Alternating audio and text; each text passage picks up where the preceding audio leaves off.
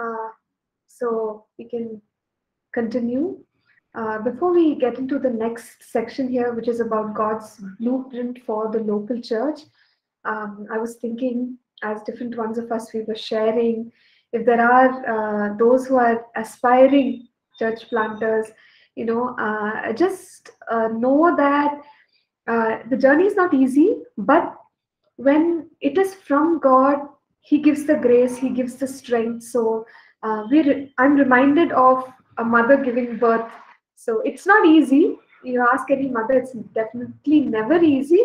But uh, the joy of, of seeing the, the baby or the child um, or the, the fruit of that labor okay but in this case it's a, a spiritual fruit.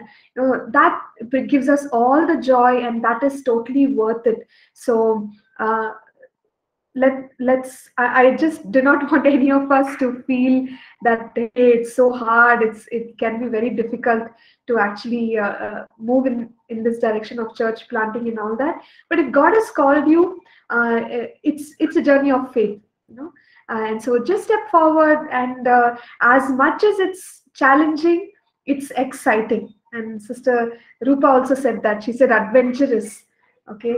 It's it's a good adventure and uh, we we will get to know god better. We'll get to learn to depend on god more. And it's a beautiful journey. So just want to encourage those who are aspiring to uh, look at it as a wonderful um, wonderful assignment that god wants to hand you okay? So uh, yeah with that we can move on to the next section here which is about god's blueprint for the local church. So now i am on page uh, there's no number given here. 45 47 yeah page 47 in the house of god apc publication. Okay so uh, when we want to build something we all know that there needs to be an uh, a plan you know put in place uh, and generally people use uh, a blueprint and then they construct a building so Similarly, we must think about the blueprint that God has for the local church before going ahead and building it. Because what are we doing? We are talking about uh, planting God's house, nurturing God's house, taking care of God's house.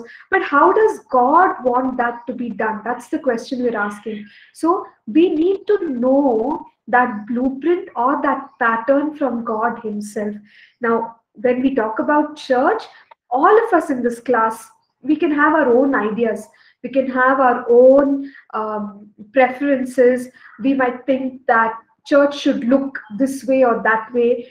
Uh, but ultimately, you know, it's God's opinion that matters about what the local church is supposed to be or what the you know the global body of christ is supposed to be. So when we are building the house of god it's best to refer to the characteristics which are pointed out in god's word as blueprint for us to build the church so in the word of god there are at least 10 areas that are highlighted uh, which we are going to study in this course.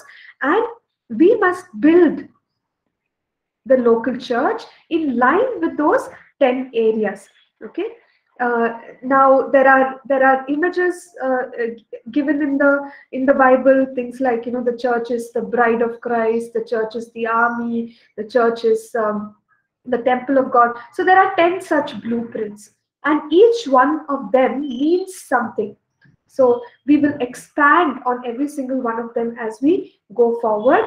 And whether we are a pastor, whether we are a leader of a church, or we might say that no, I'm not in that capacity yet. I'm just serving at uh, you know another level. But that doesn't matter. Every single one of us who's serving the church must bear in mind that we are here to build according to God's blueprint, not our blueprint. So that's what we will discuss and uh, uh, we trust that you know that will uh, help all of us to renew our minds to what the church should really look like uh, and uh, i think it's page 132 if you could just go along with me to that page.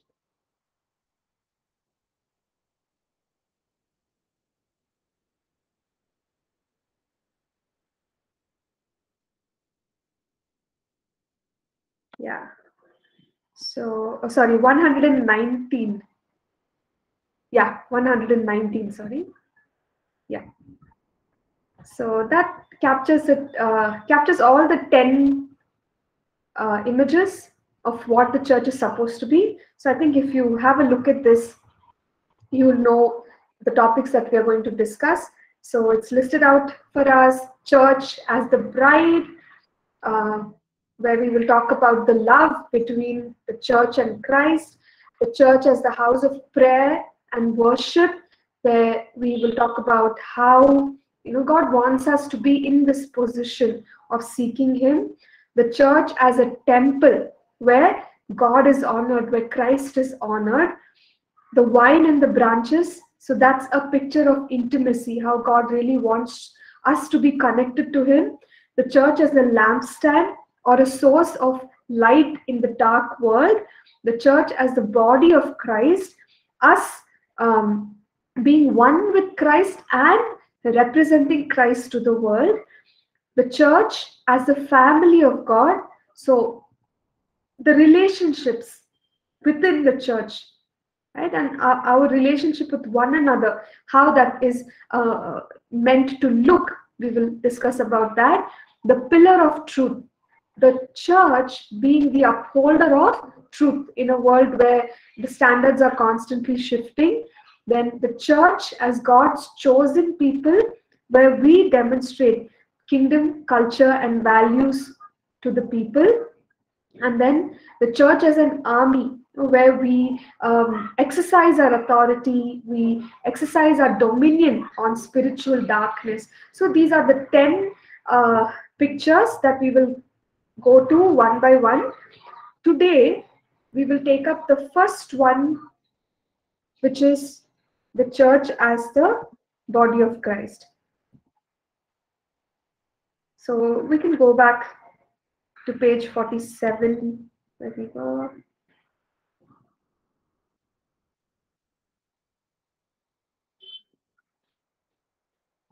Yes.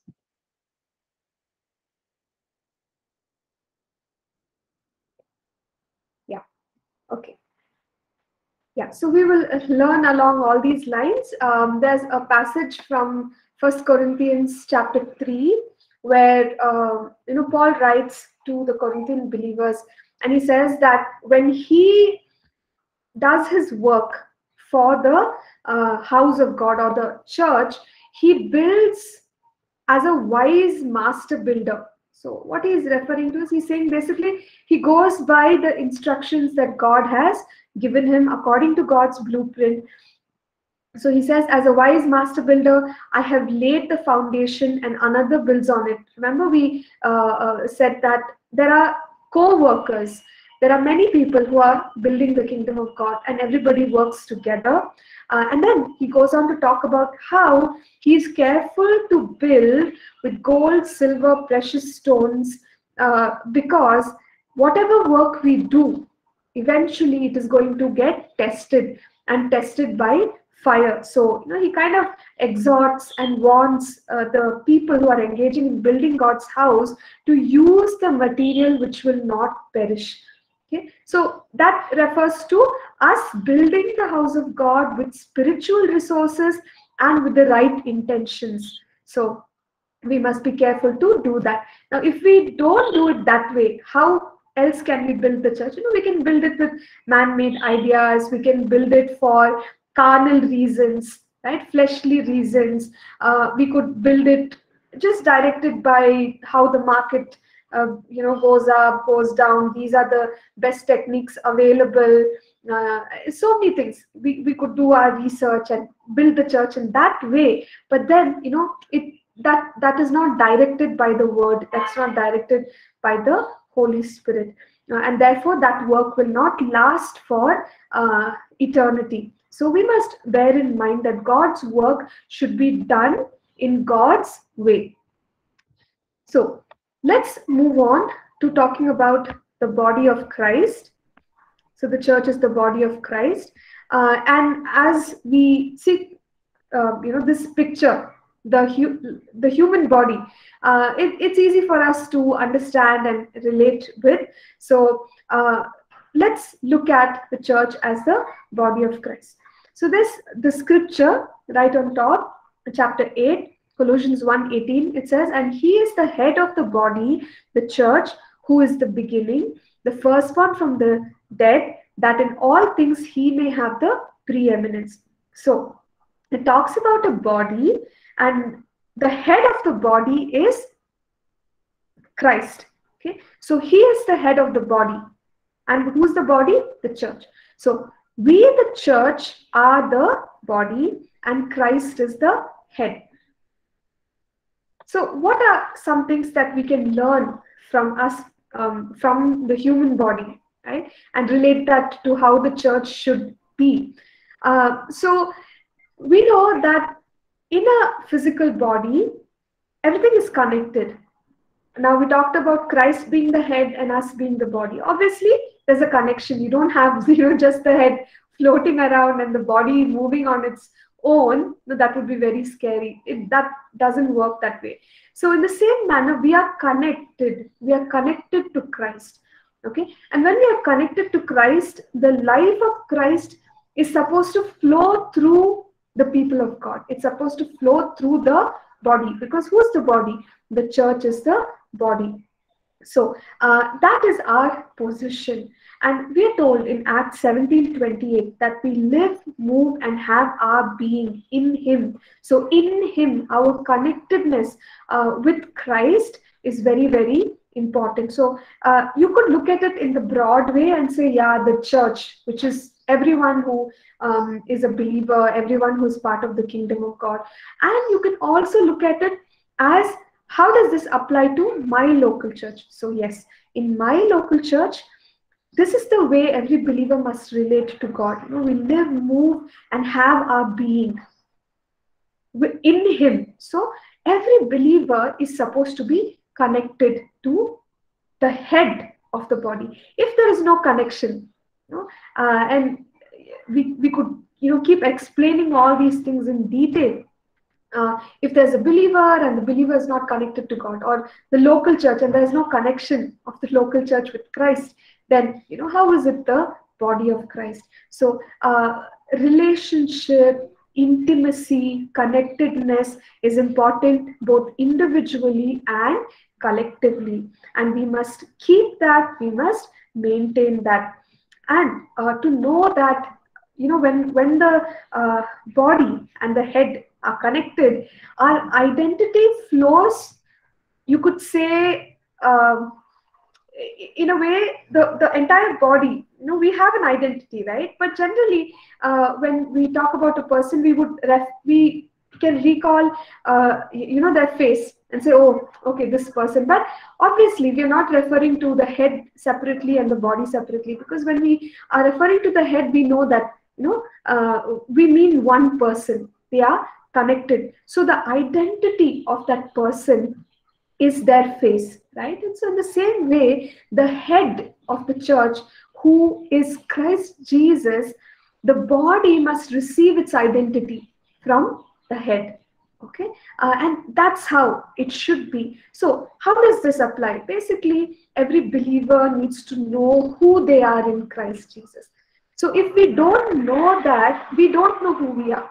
You know, the body has no clue uh, who the head is, you know what this person is all about. Then what happens? Basically you you really don't understand what you are about. So for the church for the body it's very important for that body to derive its identity from the head and for the identity to flow from the head. So our identity in christ jesus is what is important. Now as a local church, we understand this. Every believer should know who they are in Christ Jesus. Now, looking at various local churches that belong to the larger body of Christ, how, how can we interpret this?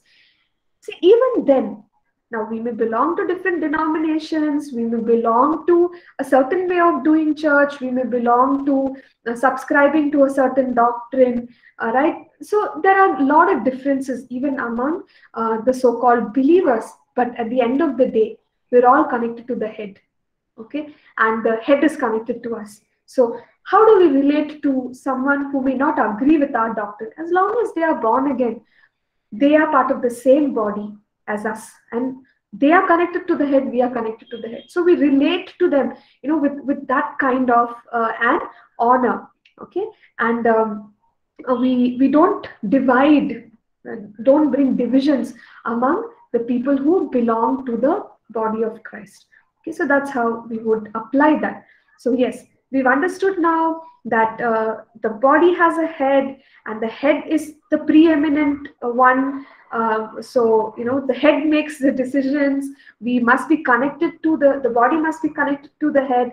And also that the identity of the body flows from the head. Now moving forward what are the other things that uh, come through? Because the church is the body of christ now the body uh, represents the person, right? It represents the person. So we are told that we are the body of Christ, and we've already said that uh, on the earth, we are the ones who have to exercise authority. Uh, and God has called the church to be that representative. Uh, a scripture here from Ephesians 1, verses 22 and 23. It says, And he put all things under his feet and gave him to be head over all things to the church, which is his body, the fullness of him who fills all in all. Again, that relationship between the head and the body. And we're told that God has put everything under whose feet? Under the feet of Jesus. And Jesus is the head of the body. So if everything has been put under the feet of the head, everything has been put under the feet of the body as well right? So Jesus rules and reigns with authority over every work of darkness. And that is true for the church. That is true for you and me. Because if something has been put under the feet of Jesus, it has been put under our feet. So we stand in authority, and on the earth, you know, we have to represent who Christ uh, is. Uh, in the book of John, uh, First John, John writes seven times. He says, "As he is about Christ Jesus." He exhorts the believer and says that you must represent the Lord Jesus. Walk in the light as he is in the light. Walk as he walked. See him. We see him as he is. So basically, uh, he's he's pointing us to Jesus every time, and he's saying that we are called to be his representatives. So, excuse me. Excuse me. So, uh, what we need to understand is that the body is here to continue revealing Christ to the world. Okay, and that is our task. So, how should we uh, reveal Christ? We must reveal Christ accurately we must reveal him um, you know uh, in, a, in a complete way in a complete way the best that is possible. And of course we have uh, his word working in us and his spirit working in us. But that's what we are called to to represent the lord jesus. So he is in heaven right now but we are the ones who have to reveal the lord jesus to the world. Okay. So uh, that again is a duty of the body. All right. Uh, now we also see that you know we can reveal Christ completely. So uh, in your notes there is uh, some explanation about that. So positionally, we are told that you know we um, we are complete in Him. We are complete in Him. But of course, as we're living out our life here on earth in a practical way, we have to demonstrate that uh, and uh, you know that again that is a journey that can be uh, a, a, you know growth journey. But it is possible because jesus christ has already done it. We're already complete in him. So we can represent jesus well. We can represent him completely, we can represent him accurately. So the, that's the job or that's the work of the body. Then uh, the body is supposed to do what the head instructs it to do. Okay, so the head decides, okay, I'm going to go uh, jogging, and uh, the body has to follow. Now, if the body doesn't follow, if just the the the brain decides and the body doesn't move with with the head, then there is a, a problem there. So, in the same way, when the Lord Jesus uh, has revealed his purposes, okay, when he has revealed his standards, if the body doesn't line up with it, which is us, every believer, and the local church and the global church, if we don't uh, align ourselves to that, there will be a huge mismatch, and that's not representing Christ correctly to the world. So, uh, whatever Jesus has said, whatever he has done, whatever he has purposed uh, for the world, we are the ones who are in the place to execute it because we are in the world right now. So, in a sense, we could say that we are the hands and the feet of Jesus. He is the head, but we are the hands, we are the feet, and we are here to do the will of God. Uh, and you know we move forward as representatives and hopefully you know uh, people will receive us because we are the father jesus said that the father sent him okay? And jesus is sending us out. So we are the ones who are representing we will do the bidding of the head who is the lord jesus christ. So in that manner we are here to execute the purposes of God. So whatever gets done, I think we've uh, touched on this earlier in the purpose of the church, the mission of the church, how we must step out, and there are so many different areas in our character, you know, how we can uh, have the fruit of the spirit uh, in the works that we do how we can demonstrate good works. In uh, carrying the power of god demonstrating the power of god we can reveal the glory of god.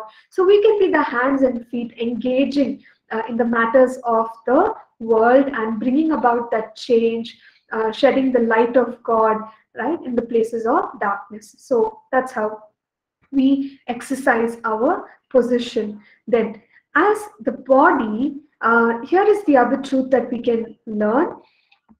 The body has many parts. The head is only one part, which is the Lord Jesus Christ.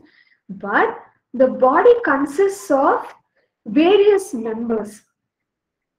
And similarly, the body of Christ, which is the church, consists of many members. So there are lots of individuals. How do we relate to these individuals who are also part of the body. In 1 Corinthians 12, uh, verses 12 to 27, there is a passage that talks about relating with one another uh, and honoring one another just the way the human body right? Human body there are many parts they have they all have their functions.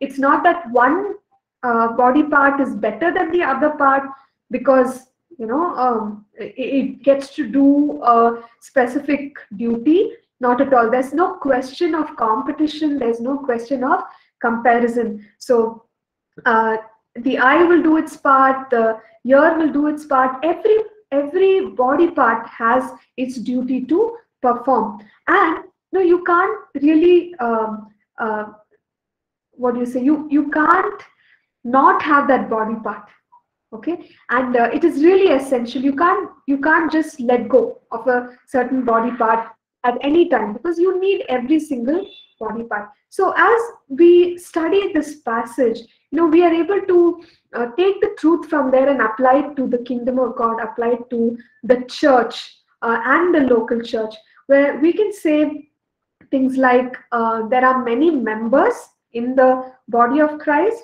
So uh, uh, if you say the local, if you look at the local church, you can say, yes, individually, there are lots of people who belong to the body of Christ. And we could also say that every single person has their function.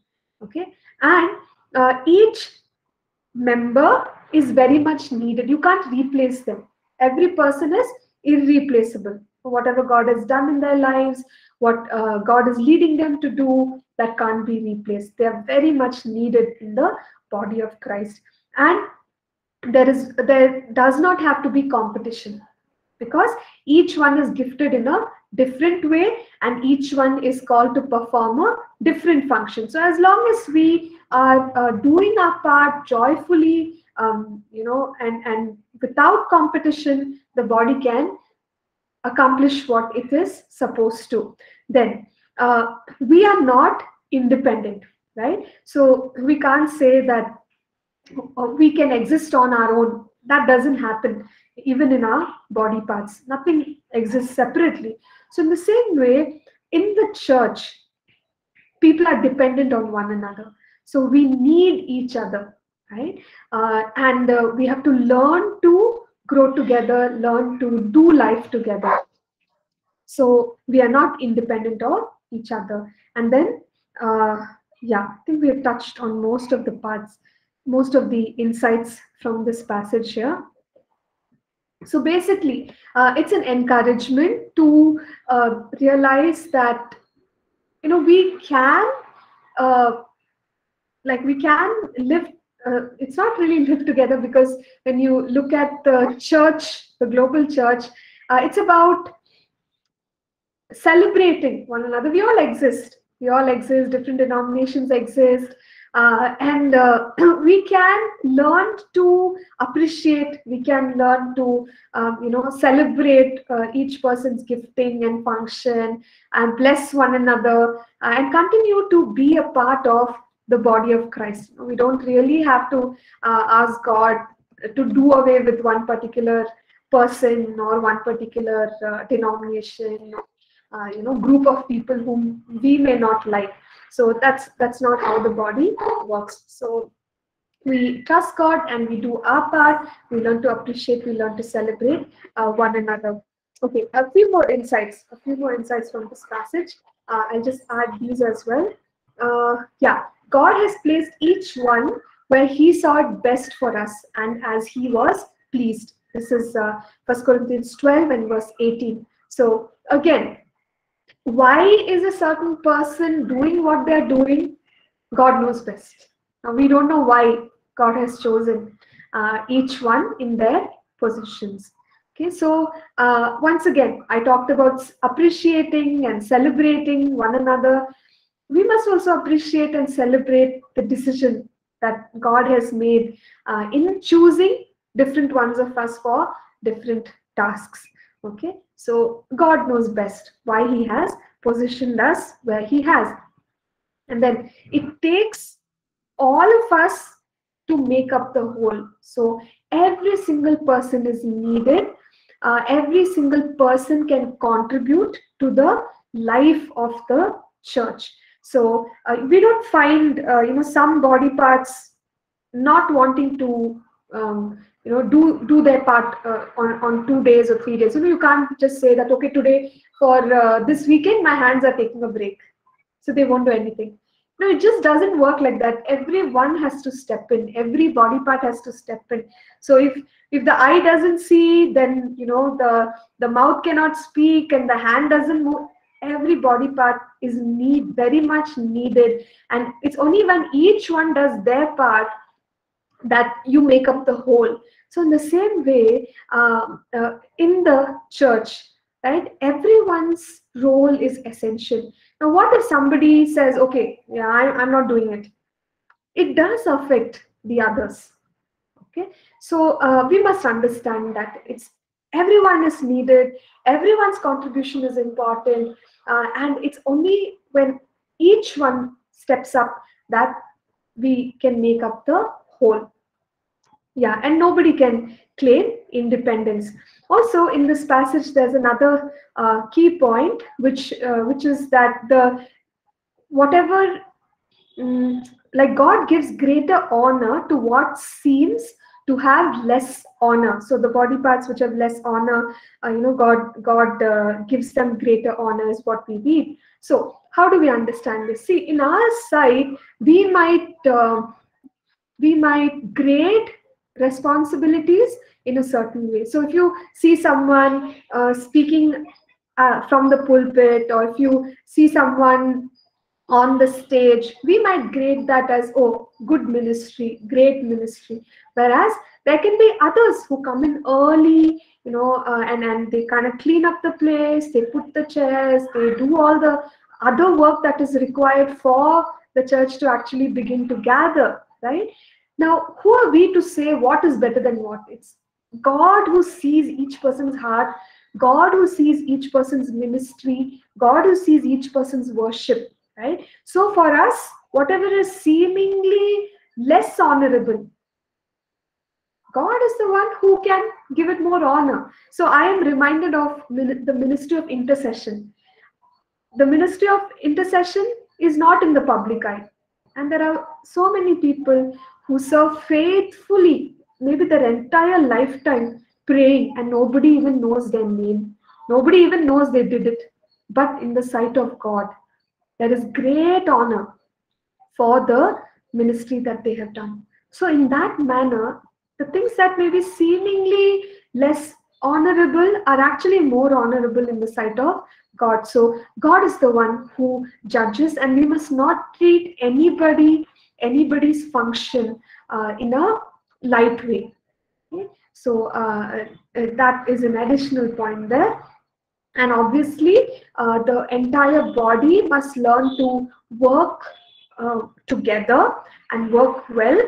Uh, because if there are divisions if one body part withholds its function the body can't work right? So in the same way uh, if there are divisions in the body of christ among the people of god it affects the whole body Okay? It affects, it slows down uh, the work of the kingdom, whatever we said so far, representing Jesus, revealing Jesus, being the hands and feet of Jesus, all that gets hindered and hampered. So, divisions and strife in the body uh, is not something that God wants. So, with the example of the human body, Paul actually tried to bring out all these insights and let people know that there are many of us who make up the whole. And we have to learn to appreciate where God has put us, learn to honor one another, and learn to work together, learn to uh, you know keep away division, strife, hatred, and things that destroy us. Okay, so uh, these are some insights that we gain from this chapter, uh, and yeah, in, in practicality, what what are the things that we can do for the local church? So we can teach them that they that, that the believer is the body of christ. And the believer belongs to the body of christ. So uh, the other things will follow. Things like you know, deriving identity from the head being connected to the head and then uh, you know flowing well with other believers. So this truth of us being the body of christ helps us to uh, live out our lives in this way. And of course you know uh, as being a part of the body where uh, the head has authority we also move in the authority that god has given us. And we continue to execute uh, the commands that the head gives us. Um, and yeah so those are those are some of the uh, applications of this truth and some of the challenges Okay, uh, I'll share two challenges which are mentioned here in our notes, but I'm sure you know we can discuss and we can talk some more after this. So one challenge which uh, a church can have is having people from several cultural and social backgrounds. So when that happens, uh, if they are not taught that they are the body of Christ and various parts have to uh, uh, you know learn to live together learn to uh, serve god together. There can be divisions within the church right? So as a pastor and a leader we have to be very very sensitive and um, uh, we have to make sure that we are building the church um, uh, by instructing them to have one mind one heart.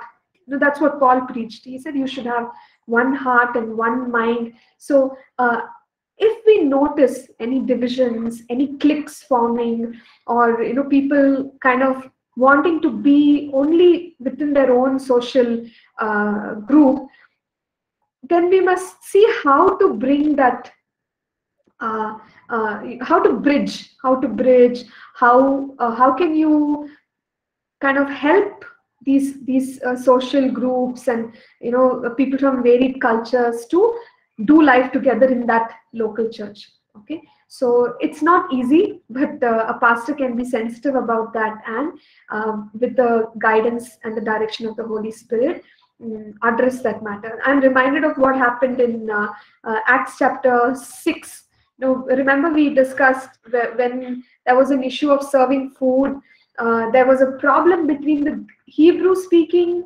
jews and the greek speaking jews. So there's a cultural difference okay and because of the cultural difference one group uh, uh, one group felt that their widows are being neglected. But uh, the leaders of the church then they didn't they didn't uh, just uh, brush off the concern and say hey forget it it's okay you know learn to deal with it. They didn't they didn't do it that way but they took it up because there was a group they were feeling uh, left out. So the elders dealt with it they appointed seven volunteers and they made sure that food was distributed equally, properly to uh, among the widows of both the cultures. Okay, and what happens at the end of that? At the end of that passage, you see that the church grew, the word went out. Right? So the way the leaders dealt with the division made all the difference, and the church continued to thrive. So when there are uh, division, there, there can be differences in, in the local church, uh, the leaders need to know how to address it in a positive way. And what we are discussing in our other class, encourage kingdom culture. Encourage kingdom culture, which is beyond the nation that we come from and the, the background that we come from and all of that. So kingdom culture, that was the emphasis. Okay, uh, yeah. Then the other uh, challenge here is the non-commitment of some believers to a local body because they understand the this truth that we are part of the body of Christ, but they would like to subscribe to the idea that it's okay not to be planted in a local church because I'm part of the larger body of Christ. There's nothing wrong in what they're saying. Okay. However, how do you do life if you're not planted in one local body? How do you stay accountable right? If you're not planted in one body how do you uh, use your gifts and your grace to serve your brothers and sisters? If you're floating around you know going to different different churches every weekend every other day or all over the place you're not ready to commit to one local church. So that can happen when believers understand that they are part of the, uh, the local body the global body okay, the wide, uh, large body of Christ. So we can encourage the believers to, to uh, choose to stay planted and committed in a local church. Now, this can also happen when uh, there are uh, certain ministers of God who have to travel around a lot for their work, and that's understandable, right? They have to travel around. But sometimes it becomes an excuse where they don't want to be uh, planted in, in any church or they don't want to be accountable to uh, any local church. So that can become problematic. Sometimes they might travel around and visit uh, various churches only to promote their ministry and nothing else. Okay, so that's also not nice. That's also not nice. So, uh, what we are saying is one is the believers need to understand this truth that they are part of the body of Christ and use the insights uh, and live out the insights at the same time, having understood what this means, the misapplication might also happen. Okay, and that needs to be prevented. So that uh, uh, overall is what we see in this chapter. Uh, I'm going to pause at this time, and if there are um, other thoughts that you may have, or you know some questions that need to be answered, we can deal with that.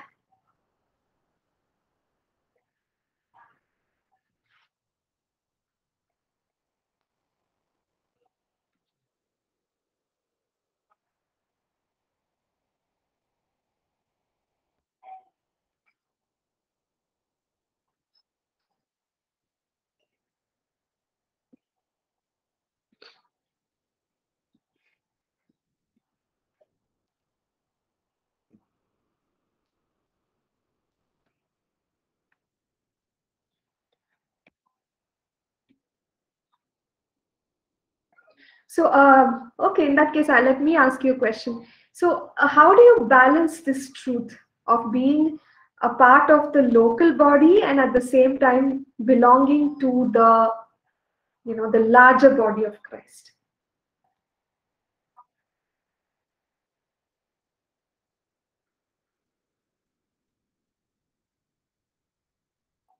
Because every single one of us is a part of the local church and the larger church. So, how does it work?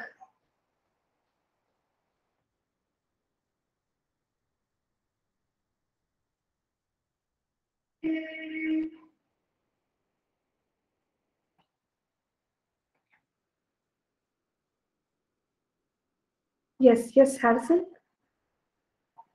Yeah. Okay. Um, I belong to a local church, and um, I still go around, you know, with some other activities, you know, that that um, relates to the things of God. But I've not really found a balance, you know, towards, you know, handling the things in the local church and also addressing um, the ones outside or maybe a global outreach because you know the task and I see before me in the local church, you know, is kind of um, time consuming that I don't really have time to really address other things, you know. But one thing, you know, I've come to understand that God has given us a different platform, you know, to share His word. And one mm-hmm. other way I've used, you know, to like, you know, manage the global the global outreach is through the internet. Mm-hmm. You know, so I'm seeing, you know, and it's something that I've come up, you know, with a concept, you know, of like um, shooting um, short films, you know, that relates to Christianity and the body of Christ. So if I cannot be, if I cannot be there in person, then I can use, you know, the platforms that I have to also reach out, you know, to as many that I want to reach out to, and and I and think you know this is the way I kind of balanced you know my time you know in the local church and mm-hmm. in the mm-hmm. global outreach. Yeah. Mm-hmm. Yeah. Thank you. Thank you, Addison. Thank you for sharing. So what you're saying is uh, uh, based on the gifts, right, that God has given you and what He's put in your heart, you sort of divide your time between the local church and the other responsibilities, right? Yeah, the, the thing I want to also okay. say is that there are some there are some things that I see in the local church that I may not really have, you know, I may not really have the attitude, you know, to express it the way I want to express it. Mm-hmm. Or let me mm-hmm. say that, you know, the way, you know, I see it, people may not accept it the way I see it. Mm-hmm. And how do I how do I share that story? How do I tell what I see. And the best way I've come up is to is to show a movie that tells the story mm-hmm. or show a short film that tells the story. Let me take for example, if I'm to like, you know, tell my pastor, okay, that what is happening here is not really right, you know, because, you know, for me, I may go through the word of God, you know, to see whether such movement is biblical. And if it is not, you know, I'm like, I'm not really done with it. And how mm-hmm. do I go to tell tell the authority that what you're doing is not right? Because you know you don't want to create, you know, you don't want to create confusion. You don't want to be seen as a rebellious Christian or a rebellious worker. And in those moments, you know, you just ask the Holy Spirit for wisdom. Mm-hmm. But there are so many ways, you know, we just want to like, you know, pass on the information, you know, that God has given us. And one way, and one, you know, from me, from my own side of the story is that how can I really reach out to the people? And when you look at it, a lot of people are spending time, you know, on their phones, on their laptops. And the best way, you know, I can do that is to reach them through that medium that they pay attention to. Mm-hmm. And the, the more, you know, I'm busy, you know, creating content, you know, that will touch lives, you know, on the social media, the better for the social media. because you know when you pick up your phone and you like you know browse through or do your research you know you want to see a lot of things that are contrary to the will of god are contrary to the word of god and as we christians you know how do we come in you know to see that we change you know the narratives you know of this thing and mm-hmm. that's why i feel that it's it is very important that you know we use every medium that we have to propagate you know the gospel. Just like you know we are sharing here if if um, the initiative you know, has not come up you know for a bible college you know to be online someone like me will not have the opportunity to partake in such a great moment like this. So it is very important that we use every medium because i do say that when the devil is you know getting more refined you know in his method in capturing souls what is the Christian body doing? So why the devil is planning, we have to be ahead of him. Mm. So that's my take on it. Thank you. Yeah, sure, sure. Thank you. Thank you, Harrison. Thank you for sharing. Um, yeah, so uh, we get that. Uh, and also, I think for lack of time, we may not be able to uh, take on any more questions. Or I wanted to add a few thoughts to uh, what you said about, you know, in case the leadership and then, you know, some issues there. But we're going to talk about that in Kingdom Builders. Okay, so uh, please excuse me because I know you have a class to catch and me too. So we will uh, wrap up right now. Uh, and Samuel, maybe you could post your question on the street page if you don't mind, or we can answer like it in the next response class. to your question. It was it was a response to the question that you asked. Oh, response. Okay, okay, okay, okay. Yeah. Maybe next class. So next class. Yes, yes. Sounds good. Sounds good. Yeah. Okay. All right. Thank you, everyone. Thank you. Uh, uh, and I'll just say a quick word of prayer. We will close with that. Heavenly Father, we thank you, Lord, for uh, speaking to us, Father, for uh, Lord equipping us, Lord, with the truth of your word. Lord, we pray that every every word, Lord, uh, of yours will change us. It will transform us. It will renew us, Father God, and Lord, that we will keep uh, moving, uh, Lord, uh, in line closer to you and Father God, align ourselves, Lord, to your purposes. Lord, we continue to ask that uh, your hand of blessing will be upon each one of us, Father God. And Lord, grant us your understanding and uh, Lord, uh, knowledge as we uh, continue with the learning, Father. We thank you once again. In Jesus' name we pray. Amen. Amen. Amen. So God bless you, class. Thank you once again. See you next week. Bye for now. Thank you, Pastor. Thank you. Thank you, Pastor. Thank, Thank you, ma'am. Bye. Thank you. Bye. Bye, everyone.